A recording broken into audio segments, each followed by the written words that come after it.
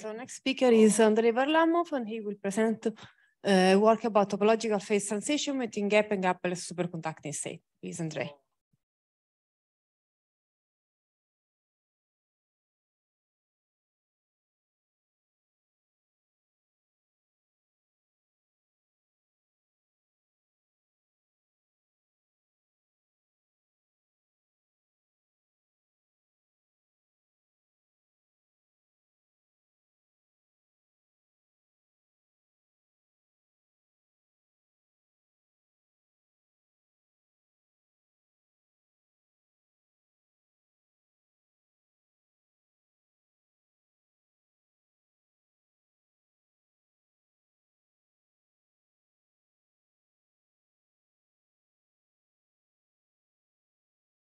Okay. Yeah, yeah, I understand. Okay.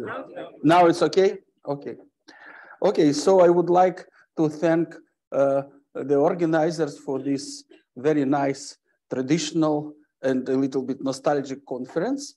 Uh, for me, I, I, mean that after all this pandemic and other events, it is so nice to see the people whom I know uh, 40 years, 30 years. And uh, today I would like to speak about some I told about nostalgia, so I will speak about uh, the synthesis of two fundamental uh, uh, seminal papers published in 1960 in Soviet Jet. So this paper was um, accomplished together with Yuri Yerin, who is present here, and with Caterina Petrillo, he, who presents in Trieste uh, in the quality of, I don't know, president of uh, technological park. So the outline uh, of my talk will be, uh, first reminder will be devoted to gapless superconductivity. The second reminder will be devoted to the transition of the second and half order. Then I will ask myself what is the order of the gap gapless transition in, superconduct, uh, in superconductor. Then I will propose you the topological interpretation of gap gapless transition, and uh, then I will try to put in doubts the mean field treatment of this transition by the fathers foundation, uh, foundators of Abrikosov and Gor'kov, and naturally I will find that they were right. The, the account for fluctuations actually shows that this approach is very stable with respect to uh, the non-homogeneity of distribution of um, paramagnetic impurities. And finally, I want to speak about the possible experimental detection, what consequences uh, this uh, treatment uh, not just uh, can have to experimental study of this transition. And I will speak about the giant thermoelectric effect. So Let's start from uh, year 1960 when uh, in 1959, uh, Abrikosov and Gor'kov developed the well-known for all of us um, cross diagram technique for account for impurities. And in 19, uh, so they did it for normal metal, and then they immediately applied it for superconducting alloys. Next year, they considered the spin flip um, uh, rescatterings and found very non-trivial thing. Uh, uh, uh, after 46 years of the question, what is superconductivity, Bardeen, Cooper, and Schrieffer proposed their the outstanding theory where the superconductivity, the phenomenon of supercurrent was strongly, uh, directly related with the gap in the spectrum. So what was a consequence of the discovery of Abrikosov and Gor'kov that it is possible to have gapless superconductor and still uh, gapless regime and still to have supercurrent. So this was fundamental because we understood that gap and supercurrent are not necessarily the same. Uh, mm, uh, so uh, still they left in uh, the long-range order. In 1970, from the papers of Berezinski, Thouless, Kosterlitz, we understood that even this is not necessary for two-dimensional system because you can have supercurrent even without long-range order. So uh, it was the first uh, strong extension of BCS theory, I would say. So what they did, actually, they wrote the standard BCS theory in Gor'kov formulation and took into account the spin flip scatterings. And they found, uh, uh, the, oh, sorry, they found that critical temperature is, first of all, that exists some critical concentration of paramagnetic impurities, which kills superconductivity, and NC. But in the range between zero, between 91% of this critical to this critical, there is an interval of concentrations where the superconductor is gapless and still you have supercurrent. Okay, then they found how uh, paramagnetic impurities shift critical temperature, etc., etc. Very good. Now I will go, uh, so now what does this mean for density of states? So in gap regime, naturally you have the smeared uh, BCS picture.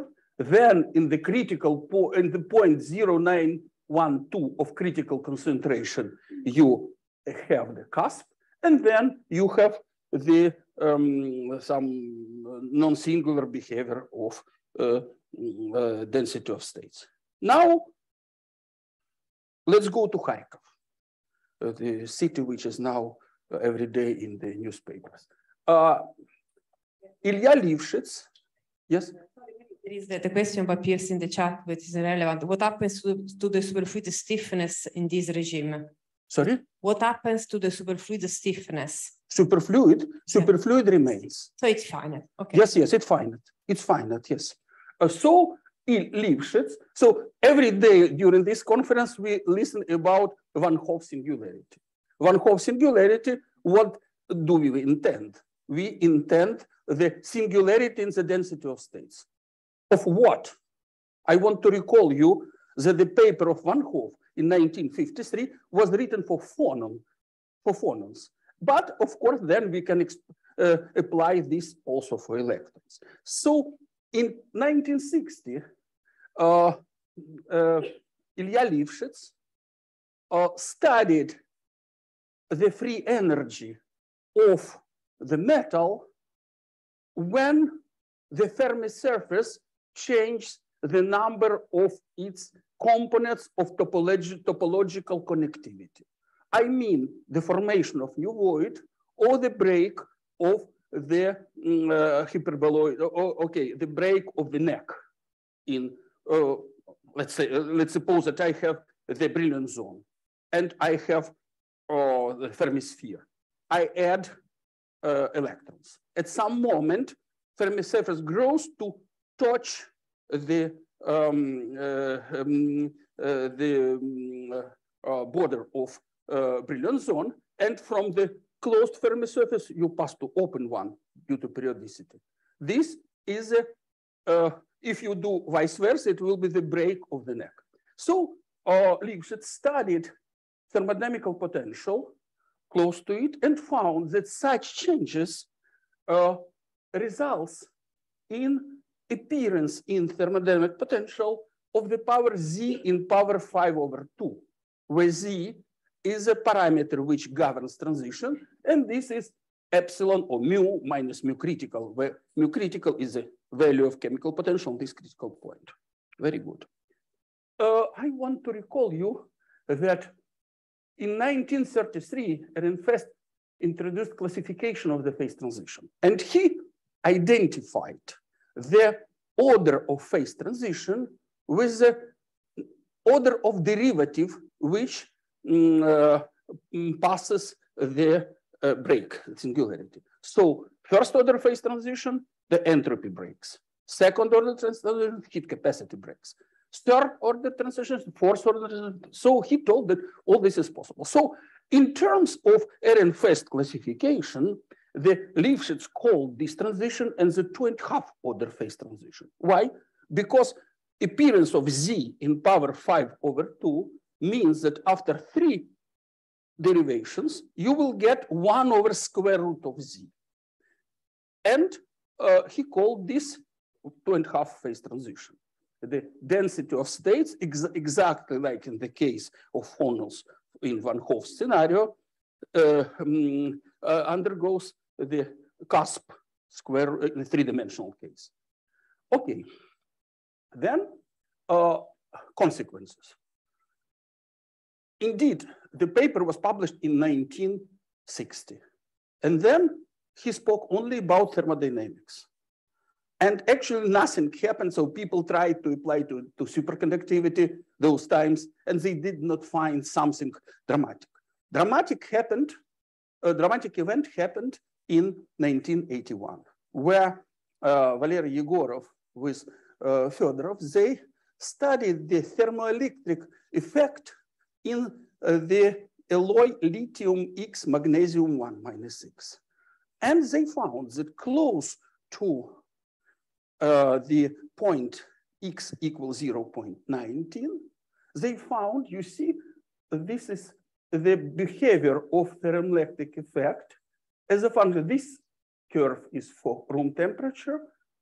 Something happens at nitrogen, and you see evident peak at the helium temperatures. So it was necessary to explain. And uh, uh, I want to recall you the, what is the difference between uh, the Seebeck coefficient and conductivity. So in conductivity, just from um, Boltzmann equation, you immediately have Drude formula with the derivative of Fermi function integrating. But if you will do the same with for thermoelectric coefficient, you will have a beautiful zero. Why? Because of the oddness and evenness of the expression. So to get non-zero answer, you need to take into account electron hole or something else. The mm, uh, uh, mm, uh, so next terms in V nu, V nu and tau. So the fact that we observe the giant thermoelectric effect should be attributed to some changes in this. The most simple, what was done by Vaks, to say, look, guys, nu has a cusp. Mott formula says me that beta thermoelectric coefficient is a d log sigma over d mu. So I will have derivative of nu and in denominator. So this is the origin of giant effect. This is wrong. This is wrong because where from you take this uh, square root from small void. What is the Fermi velocity there? Zero. So V square kills, so this explanation does not work. And to get true explanation, it is necessary, so we did it many times years ago, we just considered the microscopic theory of transport for uh, topological transition. So the model was taken as the um, hyperboloid of rotation, and we wrote with Andrei Pantsulaya, we wrote the green function uh, at uh, such spectrum with one negative mass and solve the problem for um, uh, solve the problem for self energy, self consistent equation. And what is important? You see here that there are different scattering processes. It is possible to consider electron scattering from the periphery of uh, Fermi surface to the periphery, but there are processes from periphery to the small, uh, to the um, neck in this case. And namely these processes where the neck appears as a trap for electrons gives you the main contribution in scattering time. And the, oh what happens? Sorry. No, no, sorry. Mm -hmm. uh -huh, yes.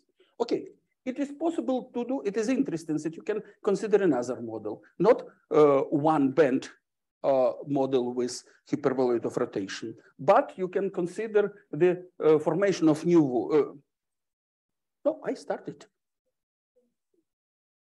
Oh my God. Okay, so I will finish with this. okay, in any case, uh, it is possible to explain that.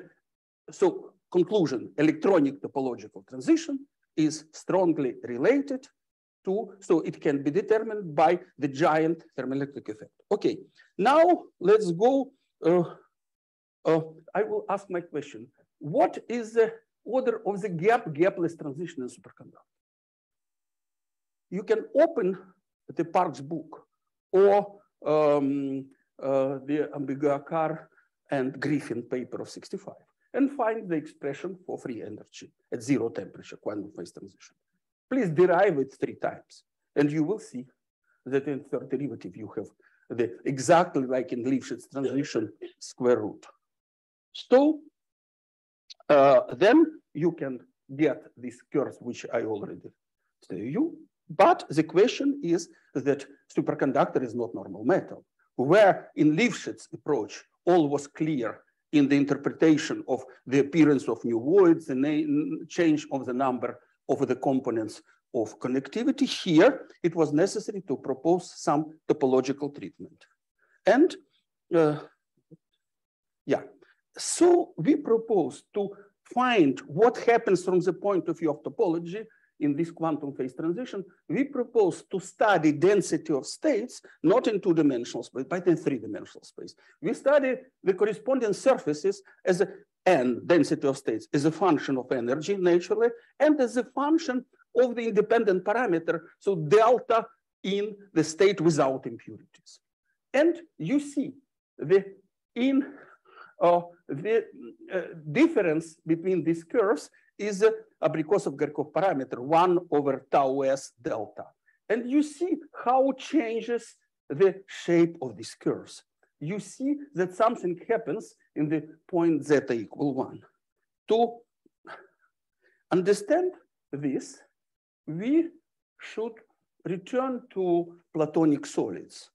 And uh, to, to, recall you that exists the Euler-Poincare characteristic of it, which is uh, the uh, sum and difference of mm, number of vertices, edges, and faces. For each Platonic solid, uh, of which Kepler wanted to construct all universe, uh, mm, uh, the he is equal to.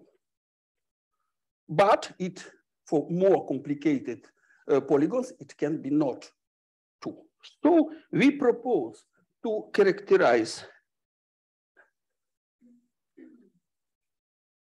sorry. Mm -hmm. So uh, if there are two possibilities, one possibility is formal. We have density of states.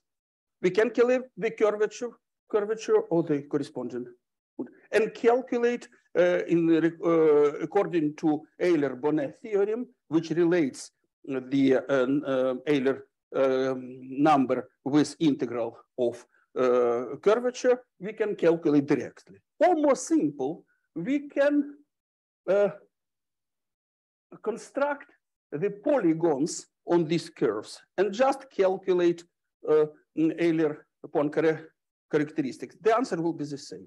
What is important that for gap state, key is zero. In the point of transition, it changes to one. Now, I want to do in a, a last minute, I want to do the reverse consideration. So I started from Lifshitz, and then I uh, applied it uh, to uh, superconductor. I found new treatment because Fermi surface did not mean too much. And now I want to say that if Lifshitz would speak not about the change of number of components of connectivity, but would speak about the Euler Poincare characteristics, what he would get. You see, now I make the parallel between superconductor and between the two types of Lifshitz transition. And I see that in figure D, the two sheet hyperboloid, where each sheet is topologically equivalent to disk with E equal one. So the Euler characteristic of the disjoint union of two disks will be two. In figure E, it will be one. In figure F, it will be zero. And I can do the same for the void formation. And I see again that the Euler characteristics change from four to two. So now in one slide, I'm finishing. In one slide, I can demonstrate you that, wait, what is happening? I don't understand. Uh, yes, in one slide, I can demonstrate you that Abrikosov-Gor'kov mean field theory is very stable. So I take the free energy from homogeneous superconductor and add kinetic term. I rewrite in Ginzburg-Landau, I rewrite this kinetic term as a, a derivative of z parameter over density uh, uh, of the concentration of the impurities. And I see that actually for validity of mean field, it is enough that logarithm on concentration slowly change on the xi. And final slide that if I will repeat uh, the calculus of uh, thermoelectric effect in superconductor, uh, so for uh, the uh, quantization of flux, so I will see that effect is giant. Thank you very much, I finished. Thank you very much, Andre. So there are questions or comments here from the audience? Yeah.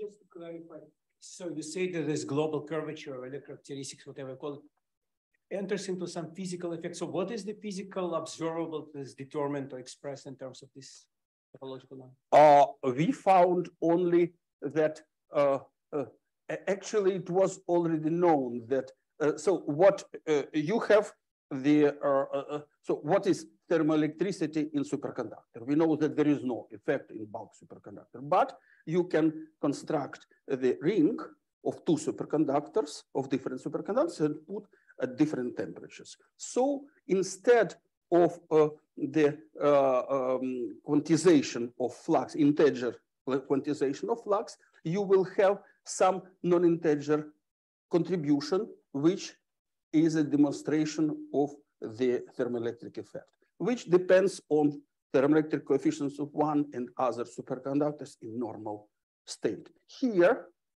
the effect will be giant, and we can predict how it will uh, depend on temperature and impurity concentration. Yeah. Yes. Uh, so Andrei, um, you emphasized the narrow region in concentration on this gapless state, but in the thermoelectric coefficients, the width of your parameter zeta is much larger. So it does seem that yes, the anomaly starts way yes before. So what really controls uh, the width in the observable versus the width of the? Uh, oh, a, a very good question. Yes. So I want again to so this calculus was done absolutely following the Ambegaokar-Griffin theory. Uh, the uh, giant effect, uh, so I want to say, uh, first of all, you're right, that it is extended up to half of the, the second, that maximum, as usually for topology, uh, as in the case of Lifshitz, is asymmetric and is um, uh, belongs to the um, uh, range of gap superconductor. So it, it, its effect is epsilon Fermi divided temperature. So the uh, the parameter of the uh, in comparison with uh, the background. So it must be. Uh, it it should not be uh, um, small. I mean, it, its range is large, of course, the same in the normal metal. So, so, maybe the confusion is that the range in density where you see the gapless superconductor, the concentration where you see the gapless superconductor is very small. Yes. This is what you showed at the beginning, but the Xi here has nothing to do with that. No, no, this is zeta. The, zeta. Uh, uh, it changes from one to zero, but zeta is one over, so transition happens at the point of one. Yeah.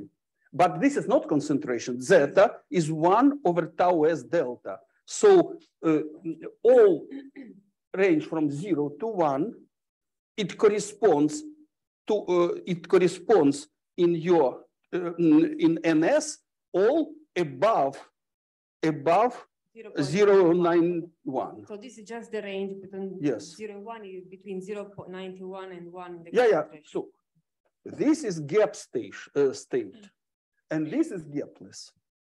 So it is large from one to infinity. Okay, so I don't see other questions, so we thank again Andrei. Mm-hmm. For thank you. starting the-